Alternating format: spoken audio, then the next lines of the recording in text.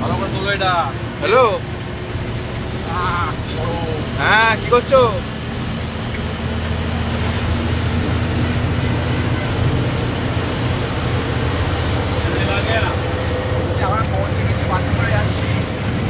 ওরা